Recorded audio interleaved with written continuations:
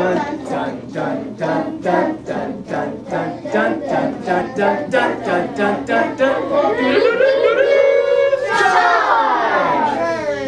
Ers. Okay. Nice job. Nice job. Okay, so kids, let's put on your thinking caps, and we're going to focus on words today. We're going to focus on words that rhyme with other words. And um, did you guys? Um, does, it, does anybody want to volunteer? The, the final go, and this is what what we say when we go to the football game because we're rooting on the Chargers, and we want the Chargers to charge all over the opposing team, right? So let's try that once more time. Ready? Dun dun dun dun dun dun dun dun dun dun dun dun dun dun dun dun.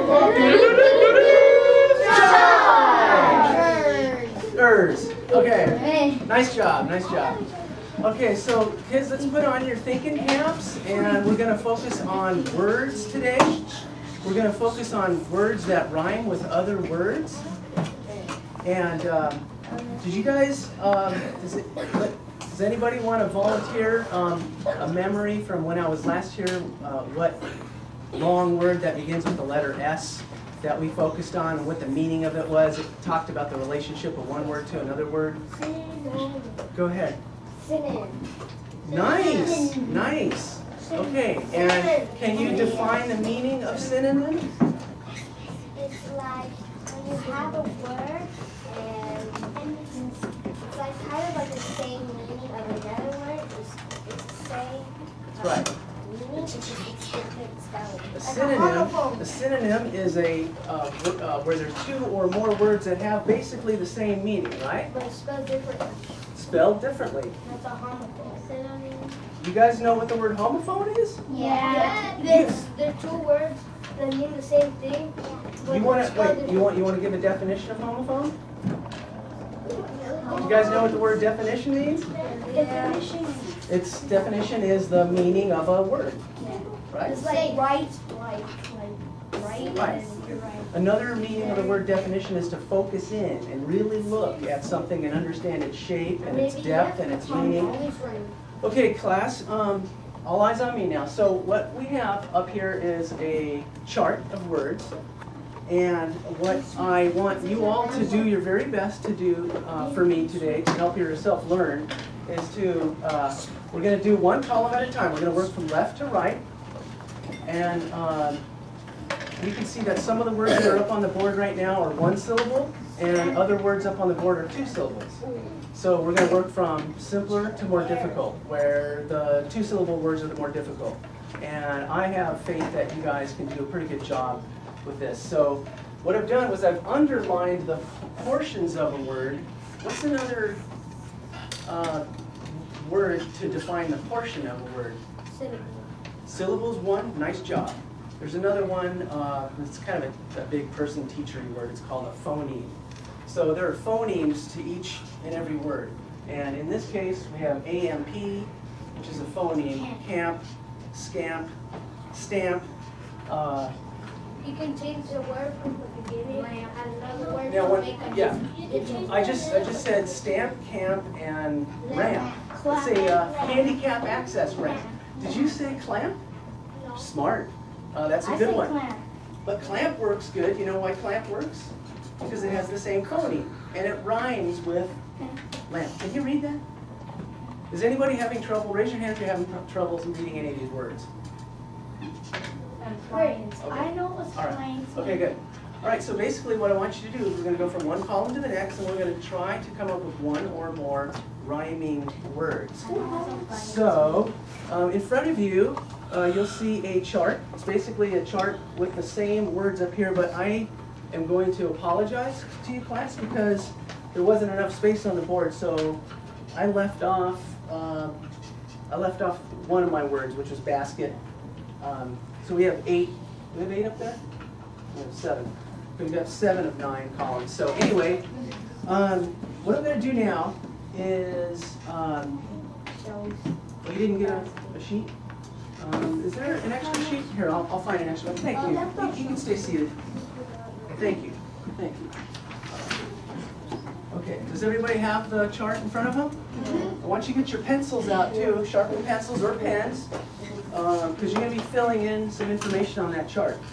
But what I'm first going to do, class, is uh, I'm going to show you a word, and then uh, after I show you the word, I want you to read the word I show you, and I'm going to ask for one volunteer to come up and do one of two things. Either A, uh, point to the column where the word belongs, the word on the flashcard belongs, or B, write the word on the flashcard in the column that it belongs um, under. Does that make sense? Yeah. Does that? Okay, thank you. All right. Very much. Okay, so here's the first flashcard. Everybody, all eyes up. Camp. Camp. Camp. Camp. Jackie, I saw your hand up. Um, would you kindly come up to the front of the class and either point to the word with the phoneme that matches or take a marker and write this word under one of these keywords? Please. Good job. Good job. So, you want to write camp up there? And I'm not going to penalize anyone or criticize anyone if your writing's not beautiful. Just do your best job getting the word written underneath there. Nice, nice. Thank you. Round of applause for Jackie.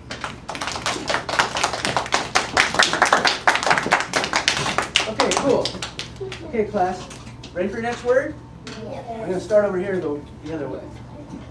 This is a word that is kind of sad, but I knew. Four.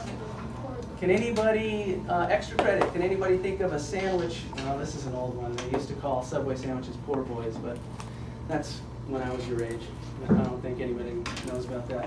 All right, do you see this word? Yeah. yeah. Okay. Young man there with a uh, fancy striped shirt, why don't you come on up and either point to the column where we have a rhyming word or uh, do as Jackie did, take a marker and, and write it under the proper column. Nice, nice. What's your name? Gonzalo. Can I call you Gonzo for short?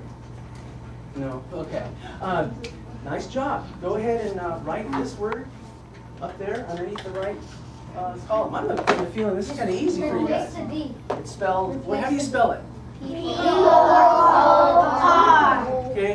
Uh, in unison, when, let's all say the, the sound that goes with the letters O O R. Or, or, right? It's kind of, well, or would be just O, the letter O and the letter R. Nice job, Gonzalo. Nice job.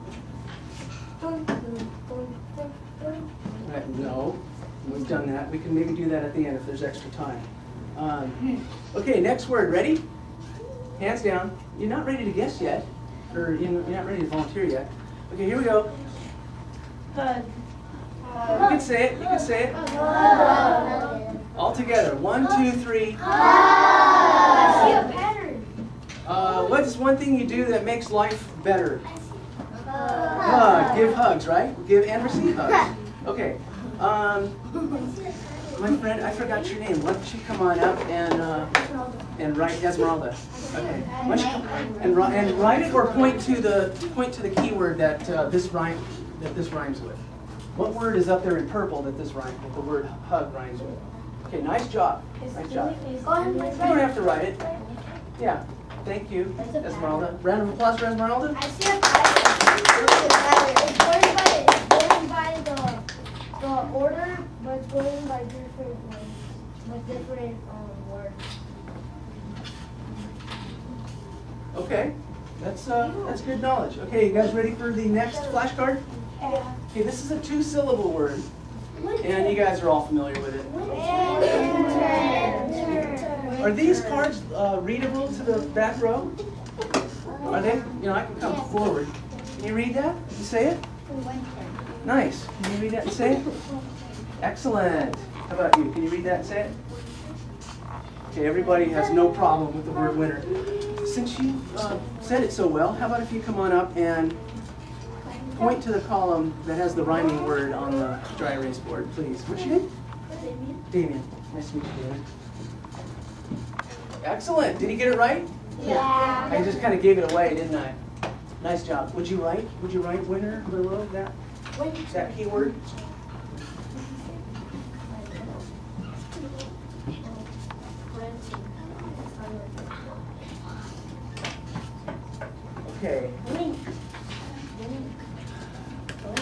Syllables does this word have? Nice job, nice job, Damien. One. One. One. One. Oh, you know what? We forgot to applause for Damien. Way to go, way to go. Okay, um, how many syllables does this word have? One. Okay, let's, on the count of three, let's all say it together. One, two, three. Oh. Demonstrate blinking for me. Blink. Blink. Nice. Blink.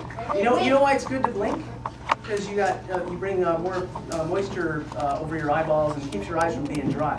So, okay, so um, what's what's the word again? Blink. All right, uh, young man, tell me your name, please. Fernando. Fernando, why don't you go ahead and take a marker and write the word blink under what you think is the rhyming word up here in purple. Excellent, excellent. You want to write it too? Well, class, you guys are doing pretty good so far. I'm pretty impressed. And you guys have been studying hard this year, huh? You've been working pretty, pretty good with Mrs. Hudnall, huh? Yeah. All the words. Yeah. Uh, okay. Oh, okay. You could just, that's all right.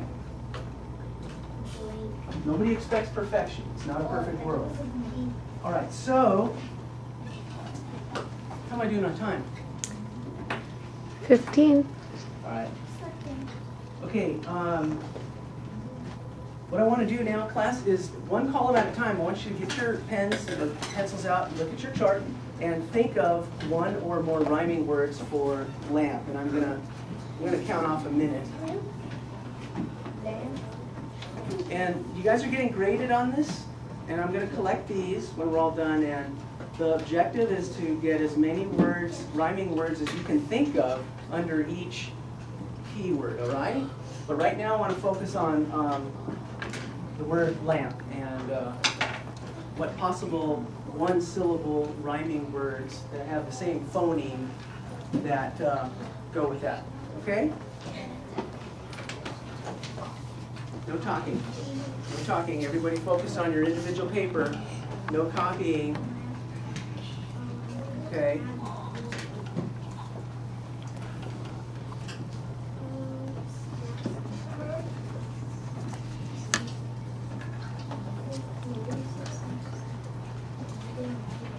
Are you working or are you chatting? Thank you. Is it better to be working or chatting? Working. Thank you. 20 more seconds, kids, and then we're going to switch over to column two.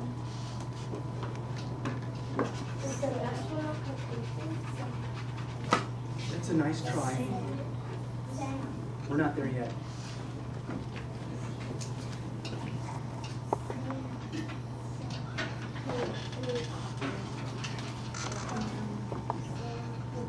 Does everybody have at least two words under the column one for lamp?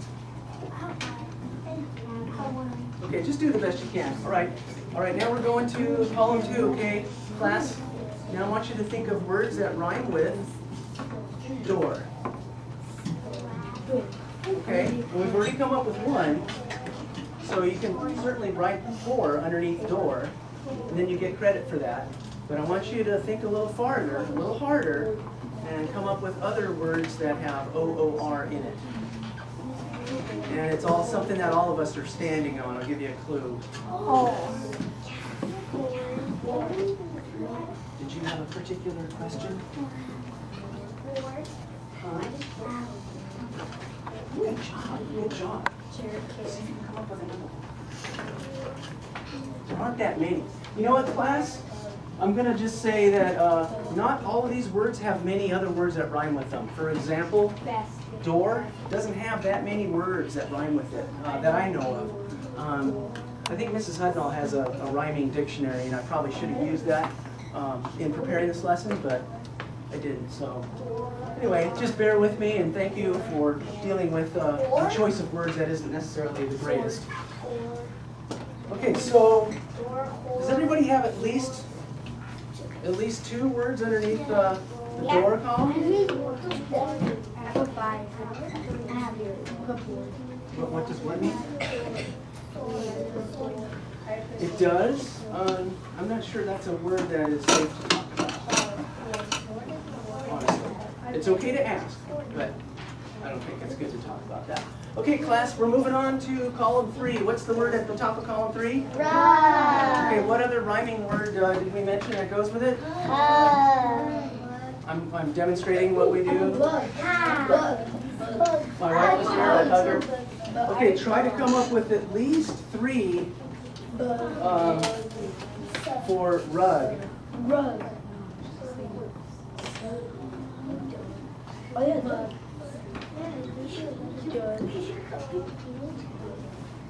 Off to a good start. You know what, class? Oh my god. This is an assignment that probably needs an hour to an hour and a half, um, you know, but we're just gonna do the best we can. Um, does everybody have at least two words that rhyme with rug? If you don't have two, it's okay. Let's move on to chair, all right? Let's uh, focus, uh, class, on, on, uh, on chair, column four, chair. And that has the phoneme. Can anybody, for extra credit, can anybody identify the phoneme in chair? Mayor. Go ahead, my young friend. Mayor. Air, air, A-I-R is the phoneme. Yeah. Mayor. Now, English is crazy because there are words that end in A-R-E that rhyme with A-I-R. Like stare, like how about stare? Like stare. Does stare rhyme with chair? Does it rhyme, does, does the word stare rhyme with chair? It does, doesn't it? Okay. But we're focusing on words that have the exact phoneme, the A-I-R. So try to come up with, um, hey, we never even did that. Um,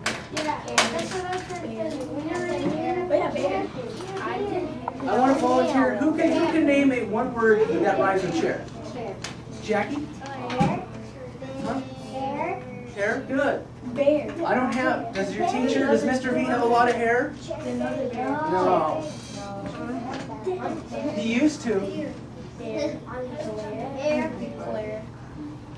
Clear. Chocolate eclair? Does, does the, is it, anybody familiar with the word chocolate eclair? It- Eclair is a pastry, right? It has the same phoneme as A-I-R, I think. Okay. Does everybody have at least one word for, that rhymes with chair? Yes, Why are your hands up? Maybe I asked you to put them up. Anyway, um, me, I'm gonna come over and just check, check and see how you guys are doing. Right, everybody's tried chair, haven't they? It rhymes with, but it's a different spelling, so that's one of the tricky parts of English language. Um, how are you doing over here? Good, good, good. Okay, class, um, let's do, uh, you guys wanna try a hard one? Say yes, please say yes. Let's try, let's try it. Wait, all eyes on me, off your paper, let's try a hard one. Um, say this word out loud, please. Appliance. One more time. Appliance. Okay, now where do you commonly find appliances? At work. At work and at home, right? Like a, let's give an example of A vacuum appliance. Vacuum cleaner? Yes. Dishwasher, refrigerator, microwave, those are all appliances. So, anyway, um, there are not that many words that rhyme with appliance. In fact, I could only come up with three. But anyway, who would like to, who would like to volunteer to write a word um, on the board that uh, rhymes with appliance? Okay, I only see one hand out. Why don't you come on up?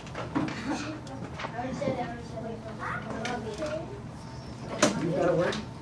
Tell me the words.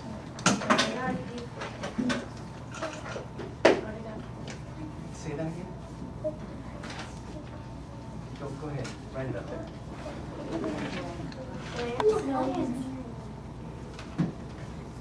You, you feel confident about how to spell it?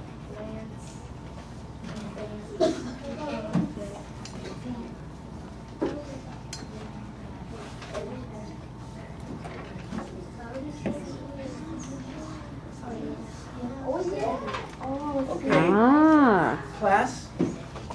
Does, does the, does this uh, fully rhyme with appliance? No. It doesn't, does it? But you know what he, what he deserves credit for? Is he has the phoneme. The phoneme is A-I-N-C-E. So, nice job. Um, anyway, do your best, class, to put at least one word that rhymes with appliance. Um, can I give you guys one word? Well, that's, that's not teaching you. That's not teaching you. Well, science, the word science rhymes with the phoneme. Um, this is kind of a tough one. This is kind of a tough one. Uh, I came up with one. Have you guys ever heard this word compliance? Have you? Uh, it's got a prefix. The prefix is com. And what does com mean? It's like either means it's short for communication or it means with. Bear play a word? No. It sounds like two words. What's your question? Do you? Okay, go ahead. Violence?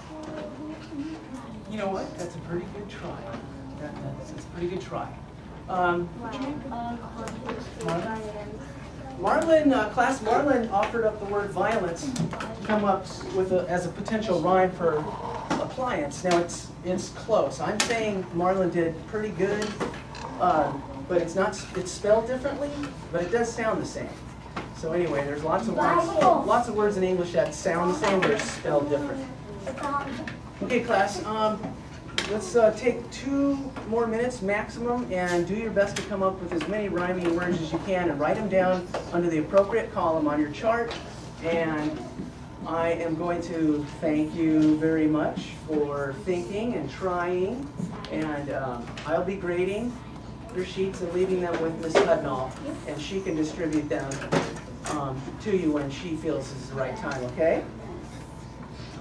So, um, I'm giving you all a round of applause. Good job. Nice job. Thank you for your attention. Keep on learning your words. Um, the, the last thing I'll say is the point of this exercise was to think of words that are familiar to you, like chair, rug, door, lamp. Uh, part, the point of the lesson was to think of words that are familiar, that once you learn those familiar, familiar patterns, uh, familiar patterns of phonemes, you can then learn more words and more larger words. So anyway, class, thank you very much for your time. And um, in one minute, I'm going to go around, or let's see, this side of the class, could you pass your, when you've done your best, could you pass, pass your paper to your left? And then this side of the class, when you're, when you're done uh, with your sheet, pass it